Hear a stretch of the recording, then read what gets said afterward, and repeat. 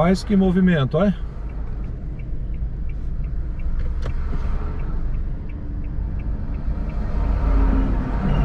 Muito bem. Agora eu posso ir. Agora vamos ali. E aí, meus amigos? Amigos sensacionantes. Deixa eu dar uma organizada nessa câmera aqui. Beleza. Amigos sensacionantes, é, galera bacana vocês aí, né? Muito bom. Estamos aqui passando pela rodovia, é, rodovia BR-116. Rodovia BR-116. Você tá indo para onde, Ailson? Palco do momento, né? Ó, BR-116. Estou me aproximando então da cidade de Ponto dos Volantes. Pontos Volantes. Vou ali em busca de Vitória da Conquista. O pessoal tá parando aqui, ó. Ah, interessante, ó. Falando de pontos volantes, é o carro da Prefeitura de Ponto dos Volantes. Ó, tá vendo lá? Você consegue chegar lá atrás? Tá lá atrás. Pontos volantes. Naturalmente, isso aqui é, faz parte. Ó, ele entrou aqui à esquerda, tá vendo? Deve estar indo aí para alguma comunidade. Mas tá calor, viu? Tá calor até ligar o ar-condicionado aqui porque o trecho aqui da região tá muito abafado. Interessante, tá, tá até ó, as nuvens, mas tá bem abafado, bem abafado. Palco do momento, BR-116, né? Como eu disse para vocês agora há pouco. Hoje pela manhã eu estava, estava aqui escutando ó, algumas mensagens né, dos nossos amigos lá dos grupos de WhatsApp. Alguns grupos de caminhoneiros, pessoas que estão aí no. estão aí no, no trânsito. Deixa eu ultrapassar essa careta da Cooper Carga. Cooper Carga. Transposição, aliás, ultrapassagem com segurança. Olha lá, ficou lá atrás. A carreta da MAN então estávamos conversando, batendo papo, escutando alguns áudios, né? Alguns deles lá, palco do momento, passando aqui por Leopoldina, a outra lá da Europa. Estou aqui por Genova, é. E o outro lá, estou aqui na terra da vovó. Nosso amigo Marcão também tem lá o canal Pati RJ Chibley. Estou aqui na, na Espanha, é, viajando pela rodovia tal. Ah, tem o nosso amigo Christian também lá do Japão. Nosso amigo Christian.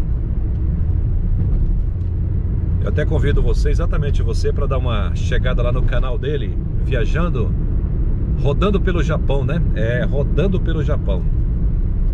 Forte abraço, Christian. E tem muitos outros amigos nossos aqui no Brasil que são caminhoneiros e têm os seus canais no YouTube. E eu gosto de seguir todos eles. Forte abraço a você, tá? Você amigo que porventura estiver assistindo esse vídeo. Ah, você não falou meu nome. Ou esqueci? Não, não.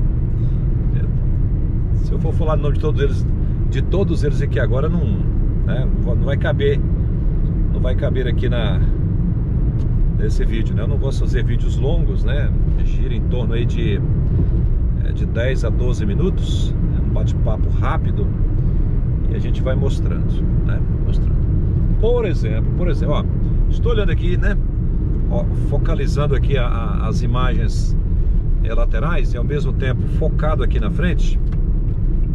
Deixa eu ver se eu ultrapassar essa, essa caçamba aqui, ó. Areal do Alemão. É alemão. é, muitos me chamam de alemão, né? Então eu estou focando aqui à direita, à esquerda. Meus amigos, olha como tá seco na região aqui. Tá seco, seco, seco. Olha, completamente seco. E eu tava olhando o rio que passa aqui do lado. São só uma berrequinha de água. pouca água. Aí você fala assim, ah, mas aí isso é mês de agosto, setembro, é dessa forma mesmo. Ah, com certeza. Agosto, setembro, até ali outubro, essa natureza aqui, ó, que estou vendo aqui do lado, é, é completamente seco. O ideal se não fosse assim. Né? Aqui tem uma a faixa auxiliar, segunda faixa, então vai entrar aqui à direita, à esquerda, então eu já não posso ultrapassar. E é uma carreta de 30 metros. Para ultrapassar um caminhão desse aí, ó, não é, eu preciso de um espaço maior. 30 metros. Ah, mandar um abraço também para o meu amigo Cláudio Alcântara. Olha a onça motorista. É o Cláudio, o Cláudio é um camarada muito alegre, tá sempre assim bem, aquela traz assim aquela aquela motivação para todos nós, né? Olha a onça motorista, né? Acelera motorista. É, o Cláudio eu estava escutando o Cláudio também, ele ele está trabalhando nesse momento é, num caminhão Volvo 30 metros, mais ou menos igual esse aqui, ó.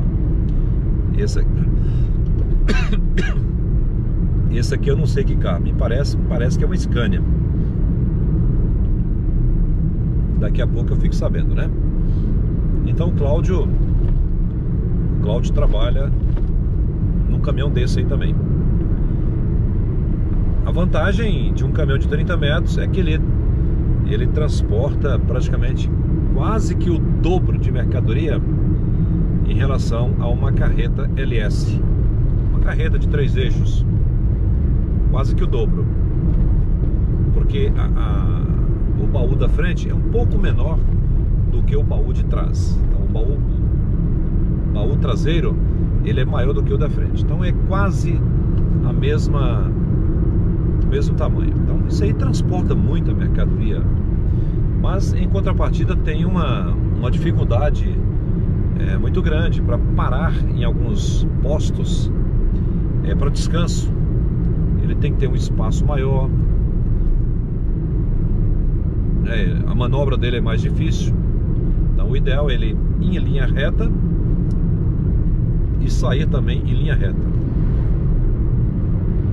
Vocês lembram que há poucos dias eu eu coloquei para vocês aí um vídeo no canal é, falando lá do, do posto paralelo. Aliás, o antigo posto paralelo, exatamente, antigo. Porque não tem mais o posto, né, já está desativado. Inclusive foram, foram dois vídeos. O primeiro muito bem acompanhado aí pela, pelos amigos do YouTube, né? O segundo, o segundo também eu dei uma parada lá, caminhei pelo posto e tal.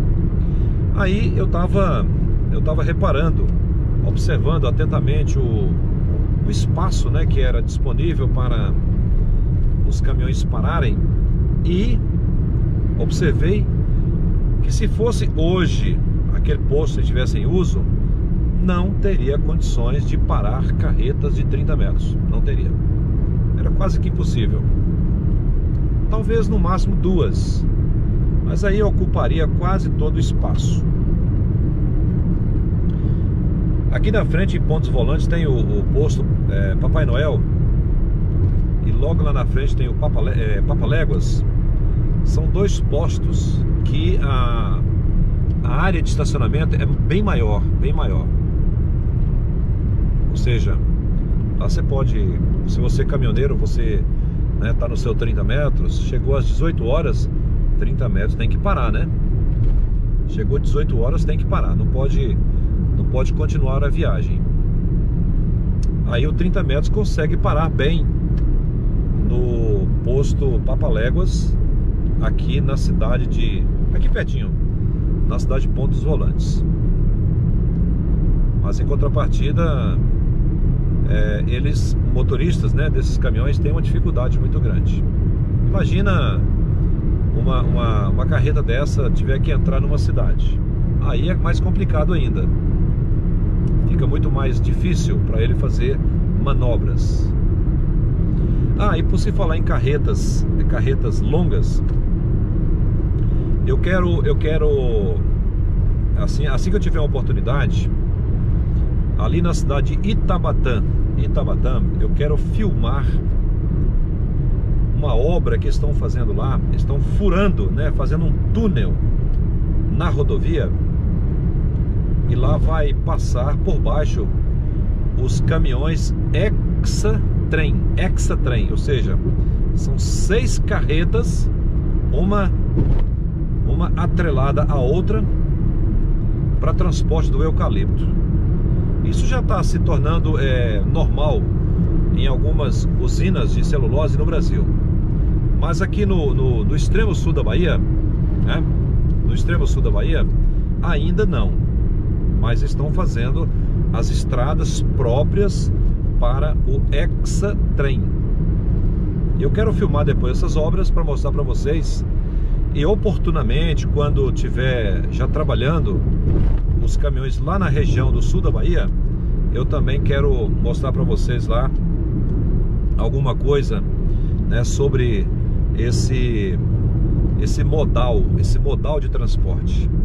Ou seja, quanto mais vai aumentando a população, mais vai surgindo aí a necessidade de produção de mercadorias, é, de caminhões e tal, e a, o transporte ele vai mudando, mudando, mudando.